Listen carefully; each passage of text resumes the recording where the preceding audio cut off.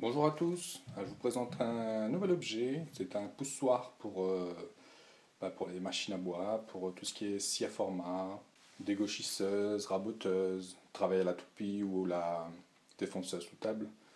C'est tout simplement un, poussoir qui permet de. un poussoir réglable, ajustable, et qui vous permettra donc de, bah, de pousser votre bois, de le guider de manière sécuritaire. Donc, euh, vous pouvez voir euh, différentes petites molettes d'ajustement. Je vous expliquerai ça en situation, donc sur la machine, pour vous expliquer son fonctionnement. Alors l'objet est bien sûr entièrement imprimé euh, en 3D. J'ai utilisé du PLA hein, pour faire mon prototype, mais je pense qu'en ABS ce sera l'idéal. Donc aussi bien l'objet en lui-même que ces petites molettes. La seule chose qui n'est pas imprimé. Donc ce seront des petites pièces de quincaillerie. D'accord?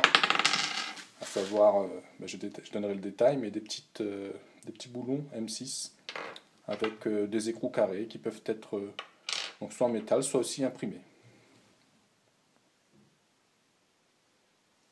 Pour découper donc, ma petite pièce de bois, il suffit de régler ceci.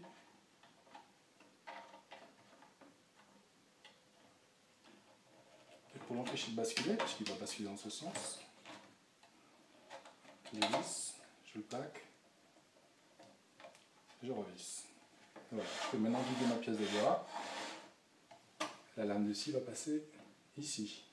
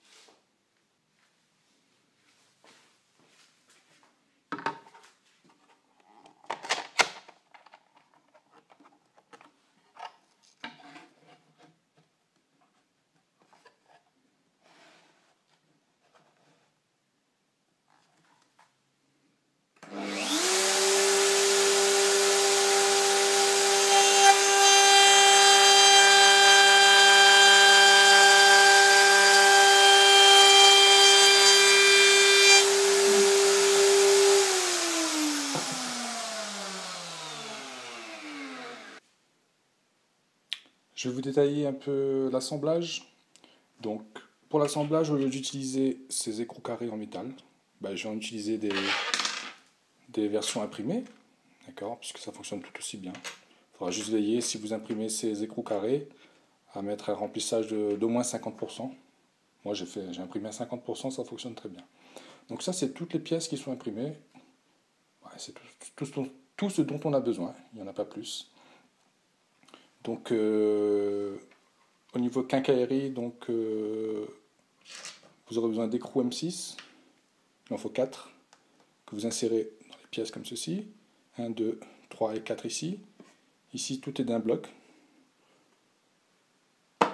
Ensuite, euh, pour ces molettes, il vous suffit d'avoir aussi des boulons M6 longueur 20 mm, il me semble, que vous insérez tout simplement coller pour plus de sécurité, mais, ils tiennent très bien comme ils seront en appui dans ce sens. Normalement, ça, sort, ça ne sort pas. Euh, voilà, et puis de toute façon, je donnerai les détails de la quincaillerie. Je vais juste vous montrer l'assemblage, montrer que c'est vraiment très rapide à faire.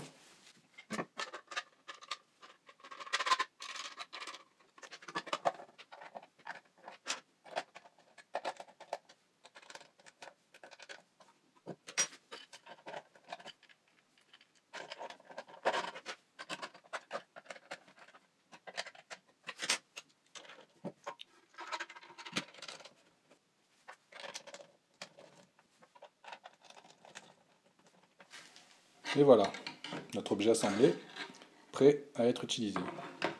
Donc en dessous, ce que j'ai utilisé, c'est une espèce de nappe, euh, un dessous de plat. Pour, euh, je m'en servais pour, euh, poncer, pour empêcher de glisser. Donc bah, j'ai utilisé ça et ça fonctionne très bien. deux derniers petits détails.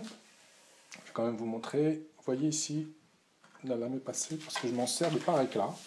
Et euh, autre petit détail, c'est que vous pouvez aussi incliner la poignée. Ça ferait travailler dans ce sens. Ce qui permet peut-être d'avoir un mouvement plus, plus naturel par rapport à votre position, par rapport à votre machine. Bon voilà, j'espère que cet objet vous aura plu. Et euh, je vous dis bonne journée et à bientôt.